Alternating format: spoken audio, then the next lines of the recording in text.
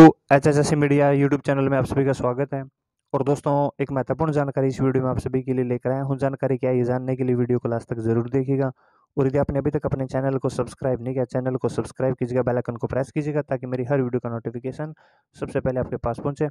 तो लीजिए शुरू करते हैं अपनी आज की वीडियो। तो इसमें हम बात करने जा रहे हैं हरियाणा पुलिस मेन कॉन्स्टेबल ठीक है? जिसका अभी आप आप सभी को पता है कि आंसर की भी आई थी, ठीक है, और जिसने ऑब्जेक्शन लगाना है, वो सारी चीज़ें इसमें हुई। अब सभी को रिज़ल्ट है कि कब इसका रिज़ल्ट आए पीएसटी के लिए। और इसका जो एग्ज़ाम था, वो आप सभी को पता है, थोड़ा डिफ़िकल्ट भी था तो जो कट ऑफ़ है, वो नीचे ही रहने वाली है ज़्यादा। तो मोस्टली बच्चे अपनी जो फ़िज़िकल है, उसकी तैयारी रखें।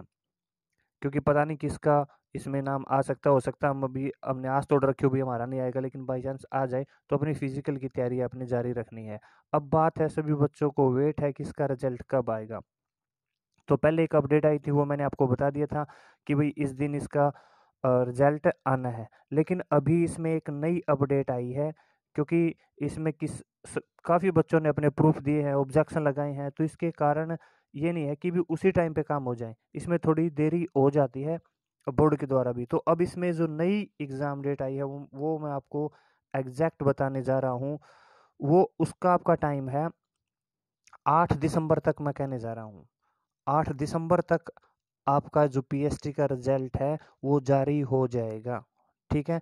पाँच, छ, सात और आठ, ये चार डेट है, इनमें आपका जो रिज़ल्ट है, वो जारी हो जाएगा। ठीक है, अभी मैं ये कह दूँ भाई छः तारीख को आएगा, हो सकता है एक दिन आगे पीछे हो जाए, इसलिए मैं आपको कह रहा हूँ कि आठ दिसंबर तक ताकि बात लगभग पक्की हो जाए। अभी एक दिन मैंने कह दिया, मान लिया छः तारीख को आएगा और उस दिन ना आए तो बच्चों को तो अभी छः को नहीं आया। इसलिए आठ तक मैंने कह दिया, आठ तक आपका रिज़ल्ट आ जाएगा। तो ये एक छोटी सी अपडेट थी, जो आप सभी को पहुंचानी थी। जानकारी कैसे लिखी कमेंट करके बता सकते हैं। अपना प्यार और सपोर्ट इसी तरीके से बनाए रखेगा।